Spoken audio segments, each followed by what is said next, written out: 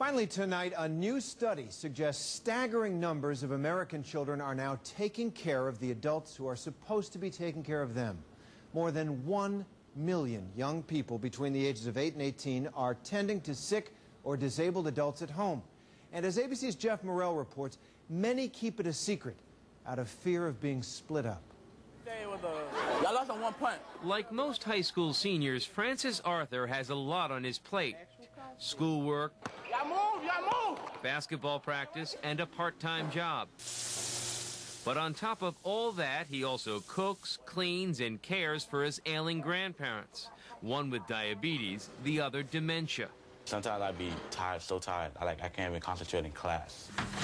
You have a lot of responsibility for a young man. I say I had a lot of responsibility since I was like, since I was born. Francis is part of a hidden problem in this country. A new study, the first ever in the U.S., reveals that nearly a million and a half kids nationwide care for sick or disabled relatives. Most people in the U.S. would be oblivious to this, and that's not just the general public. That's policymakers, that's Congress, that's uh, doctors in the healthcare system. While there is some support for the 44 million adult caregivers in this country, children doing the same thing are pretty much on their own. Just do your medication, okay? 27 year old Maggie Ornstein has been taking care of her mother since she suffered a brain aneurysm a decade ago.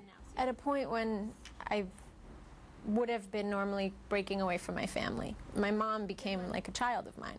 Do you have keys? Yes. Are you sure?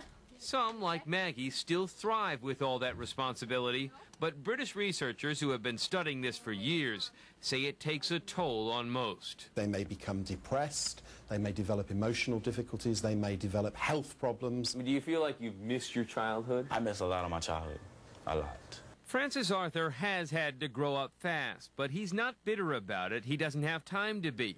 In addition to everything else, he's studying for college. He hopes to become a professional nurse ready? so he can care for even more people in need. Geoff Morrell, ABC News, Rockledge, Florida.